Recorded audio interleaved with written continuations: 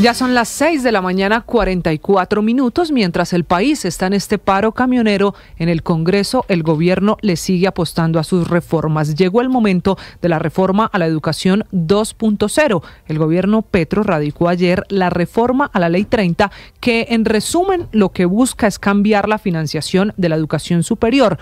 El cambio sería que la plata se asigne según la, el índice de costo de la educación superior, ICES, que es un índice que entrega el DANE y no dependiendo de la inflación, que es lo que pasa hoy que espera el gobierno sea la manera de asignarle más plata a la educación superior. Ese es el proyecto del ministro Daniel Rojas Medellín, es la reforma 2.0, porque hay que recordar que el primer intento del gobierno por cumplir esta, que fue una promesa de campaña, le costó el puesto a la ex ministra Aurora Vergara. Insiste el nuevo ministro en que se necesita modificar la financiación para que esas instituciones de educación superior sean adecuadas y sostenibles, entendiendo que parecido al sistema de salud, en el sistema de educación también falta plata. El principal argumento de este proyecto es que Colombia invierte hoy el 0,4% del PIB en educación y se requiere que ese porcentaje llegue por lo menos al 1.2%,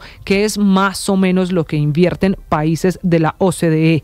Si bien el proyecto hoy ya tiene el respaldo de varias instituciones, lo han analizado expertos, la academia, que es la involucrada, todavía no tiene aval fiscal del Ministerio de Hacienda para saber cuánto vale esta reforma. Y es que el aval fiscal se está convirtiendo literalmente en la piedra en el zapato de las reformas del gobierno. Es la misma razón por la que no se ha radicado la reforma a la salud 2.0, lo que significa que existen los proyectos que siguen caminando y buscando acuerdos políticos, pero que todavía nadie sabe cuánto vale.